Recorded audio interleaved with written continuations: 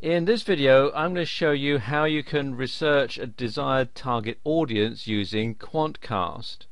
And Quantcast is a really excellent tool that generates a lot of statistics regarding who visits a website and when. It's completely free and you can access it here at quantcast.com. There are two ways that you can use it.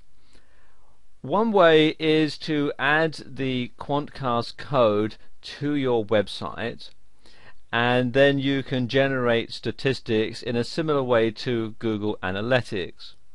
Or you can use it to find out information about other websites that are going after the same target audience that you are or perhaps places where you might think about advertising so that you can get a good idea as to what the audience for that particular website is. And I'm going to cover that part of the Quantcast site in this video.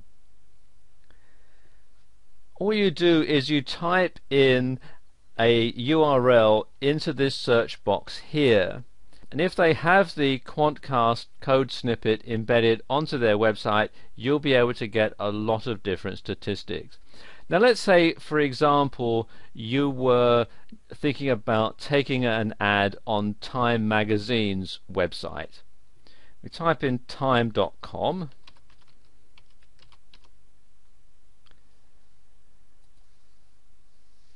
and then click and you can see here a lot of statistics about who visits this website and when they visit it. And you can see here that the traffic tends to come in sort of two peaks towards the beginning of the month and then it tapers off and then there's another peak again towards the end of the month and then it drops off considerably all the way along here when Time magazine comes out and so on.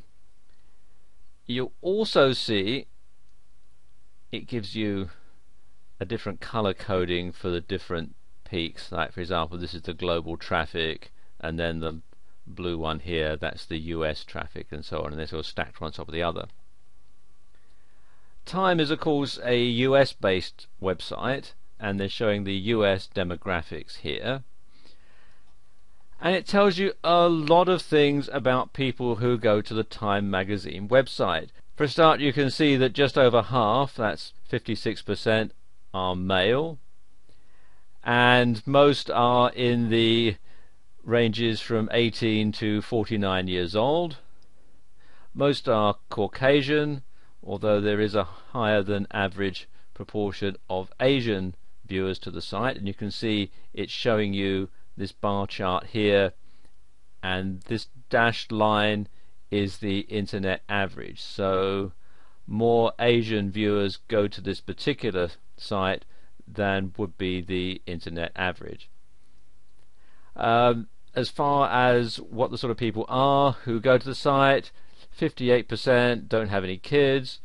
You can see that they are mostly fairly well paid 32% earn over $100,000 a year, and they also tend to be fairly well educated. 47% went to college, and 23% went to graduate school.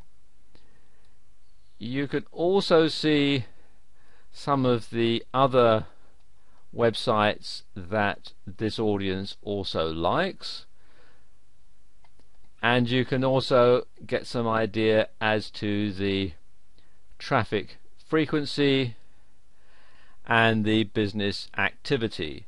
So you see globally people tend to visit this site from both work and home and in the US people tend to visit this site from both work and home.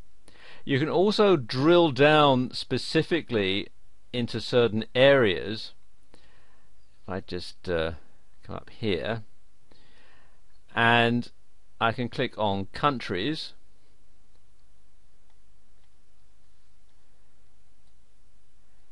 And I can see that overwhelmingly the main place that people come to the Time website from is the United States, more than 11 million visitors, and from Canada, and then the United Kingdom, then India, then Australia. So if I was thinking about taking out an ad on the Time magazine website, I would be looking to target people in these countries.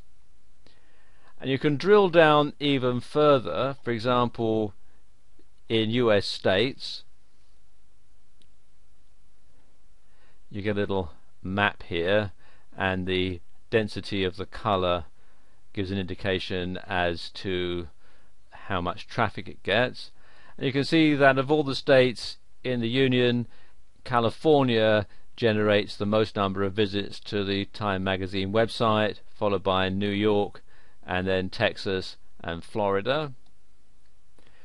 And you can also look on cities as well. So you can see that even though California sends more traffic than any other state. New York City sends more traffic than any other city in the US. So you, you can really drill down a lot on the sort of audience demographics that each website gets. And you can do this also let's say for example you want to promote an affiliate product that's on ClickBank or pay.com and the website owner has installed the Quantcast code snippet onto their website. Well, you can look them up in Quantcast and you can see exactly if that particular affiliate program is going to be a good fit for your list. And likewise, if you are selling a product and you want affiliates to help sell it for you, then they can go to Quantcast and find out if it's going to be a good fit for their list. So there's a lot of information that you can find here and it's all free.